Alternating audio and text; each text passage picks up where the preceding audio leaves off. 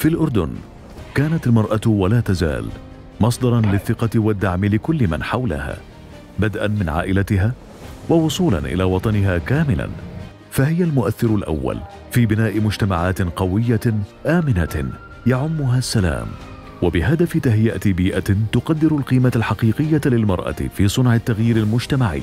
انطلقت الخطة الأردنية الوطنية لتفعيل قرار مجلس الأمن 1325 المرأة والأمن والسلام لتساعد المرأة الأردنية على إحداث أثر دائم ومواصلة دورها الإيجابي في إحلال الأمن والسلام. ليس فقط على مستوى الأردن بل على مستوى العالم. ومن أجل ذلك تتعاون هيئة الأمم المتحدة مع الحكومة الأردنية من أجل إنجاز أربعة أهداف رئيسية تتمثل في تحقيق المشاركة الفاعلة للمرأة في القطاعات الأمنية والعسكرية وفي عمليات السلام ودعم توليها لمراكز قيادية في هذه المجالات. يعني أنا وجهة نظري المرأة آه، لازمة في كل مكان في القوات المسلحة. يعني ما في مكان بعتقد أن المرأة ما لازم تكون موجودة فيه. أنت في العمليات العسكرية أو المدنية دائما بحاجة لوجود العنصر النسائي معك في المشن الخاصة فيك. دائما لأنه لأنه البيئة اللي بتتعامل فيها دائما فيها عنصر نسائي وبالتالي هناك حاجة إلى وجود عنصر نسائي مع القوة اللي معك مشان تتعامل معها. سواء كانت هذه المشن آه، سلمية آه، بحث وتفتيش أو عمليات قتالية أنت بحاجة دائما تتعامل مع عنصر نسائي أصبح تطوير لدينا في الشرطيات وخصوصا الضابطات في استلام المواقع القيادية والإدارية المتقدمة. ومواقع صنع القرار ونتطلع في المستقبل إن شاء الله أن يكون في عندنا مواقع قيادية أفضل للشرطة النسائية مثل رئيس المركز الأمني يكون عندنا شرطة نسائية آه، رئيس مركز الدفاع المدني يكون آه، أيضا من الشرطة آه، النسائية وهلم جرا التنافس كان يقوم على القدرات وليس على هناك خصوصية سواء كانت للذكر أو الأنثى.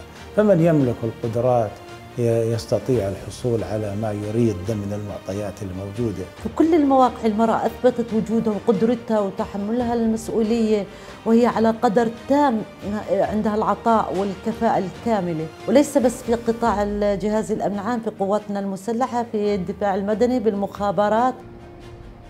أنا هيني كقائد فصيل يعني لساني مترفع على ملازم بس إلي صرت على مباشرة قائد فصيل.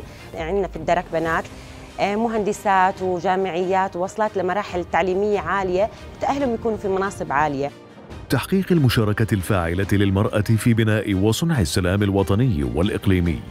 كان أنا لي العديد من الإنجازات منذ خدمتي بالقوات المسلحة الأردنية. لكن أهم إنجاز أثر فيه ولغاية الآن كان له تأثير آه، يعني حياتي العسكرية اللي هي مشاركتي بالمستشفى الميداني الأردني غزة 30 فصيل نسائي بيتم تدريبه على جميع مواضيع التدريب المختلفة آه، من الرمايات من تدريب المناطق الجبلية بالإضافة إلى ذلك يتم إشراكهم بجميع الواجبات والمهام التي يتم تنفيذها داخليا وخارجيا.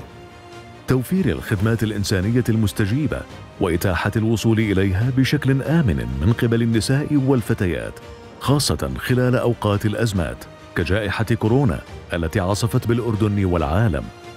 الدور الظاهر والبارز كان للمرأة بالخدمات الطبية بشكل عام تواجدا في فنادق الحجر في البحر الميت وعمان بشكل دائم ممرضات أو طبيبات. آه كان حجرا بالفندق 14 يوم مع المحجورين. لو تعرف كنا نحجر كل الكادر الطبي مع لأنه بيختلطوا بالفندق ومرافقه بشكل الضغط اللي تعرض له الجهاز بفترة الأزمة الكورونا كانت توصل البلاغات أو اللي هو الاتصال على 911 ل 2000 أو 2800 حالة. طبعا التواجد النسائي في إدارة حماية الأسرة منذ بداية تأسيسها لغاية الآن أكيد زاد كونها تعتمد بشكل أساسي على العنصر النسائي لطبيعة وظروف العمل آه، مع حالات العنف الأسري وكونه آه، نتعامل مع آه، نساء معنفات وأطفال. بناء ثقافة مجتمعية داعمة لدور النساء والشابات في تحقيق الأمن والسلام ومشجعة على المساواة بين الجنسين. بدءا من الأسرة ووصولا إلى المجتمع كاملا. في عندك اختراعات يعني وعمليات جراحية.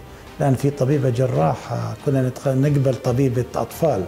الآن في عندك طبيبة جراحة طبيبة جراحة وصلت لجراحة العام وجراحة الكبد وجراحات العيون وسجلوا براءات اختراع.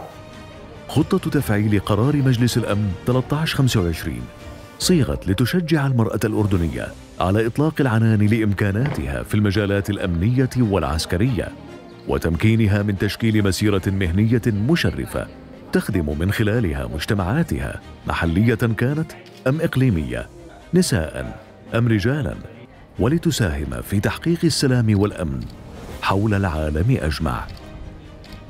مهمة. وقد المهمة.